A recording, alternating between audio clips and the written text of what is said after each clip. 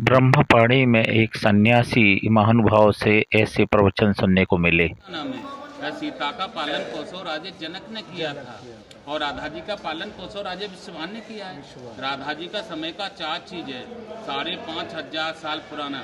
आप लोग विराजमान है, जो पहाड़ी है, जो सादा पहाड़ी नहीं है इससे बोलते हैं ब्रह्मा पहाड़ी जो ब्रह्माचल पर्वत है। राधा जी का चरण ब्रह्मा जी के सिर के ऊपर है।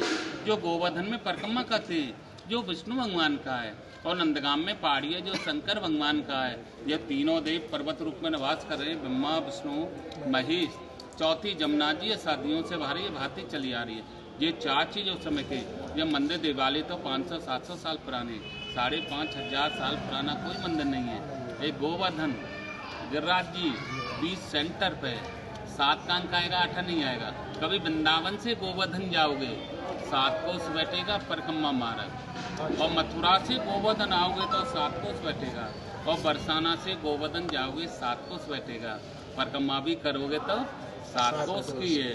भगवान ने पर्वत को उठाया। भगवान की उम्र सात साल की थी।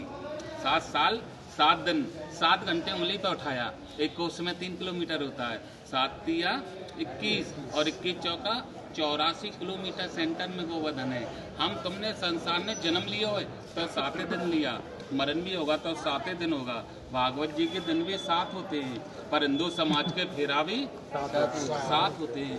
दिना भी सात होते हैं, समंदर भी सात होते हैं, तारे भी सात होते हैं, ऋषि भी सात होते हैं, रंग भी सात होते हैं, और आप लोग भी साथ साथ होते हैं। भागवत जी कहते हैं कथा में भावे। बोलो, राधा रानी।